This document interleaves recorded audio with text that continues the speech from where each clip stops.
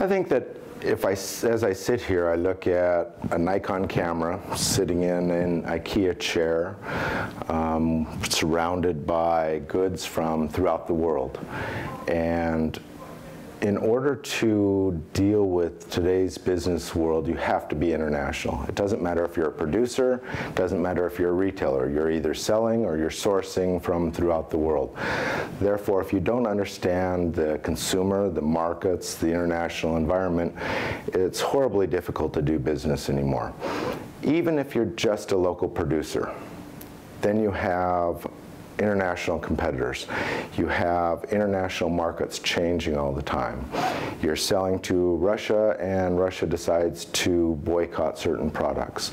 Or just amazing things can happen in the international environment today.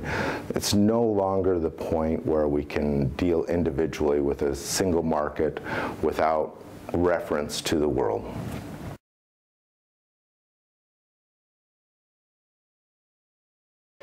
Well, I think that the marketing program here is um, quite similar to many marketing programs, master's programs throughout the world. I think the major advantage here is three things. Um, first, marketing analytics. Uh, marketing analytics is becoming a much hotter area to study in. You have to show responsibility to the CFO. You have to show a return on your investment and there's a, a, great deal more focus than you'll find in a traditional program here than you would in Germany or in the US. The second issue, I think, is, is the students themselves. Many of the students here going to the IMM program are already working. Uh, they're already in the industry, and for their age, they have very highly responsible positions. So they have experience that you won't find in a traditional master's program. Uh, one of the things about Lithuania is the opportunities are very good for people with education and willing to work hard. So they move up fairly quickly. So when they get into their master's program, a lot of them have really good experience, again, higher positions, and those are the people that you'll be studying with.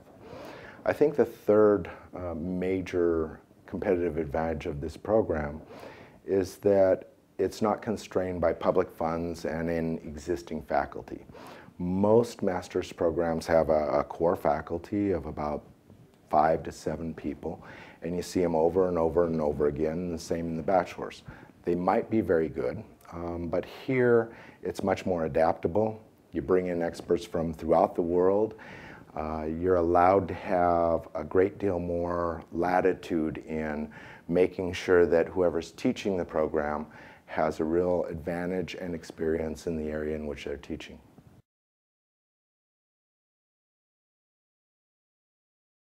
One of the things you notice when you look at the demographics of Lithuania is there's a very large immigration issue between young people going overseas to find employment. I think that in part this is understandable.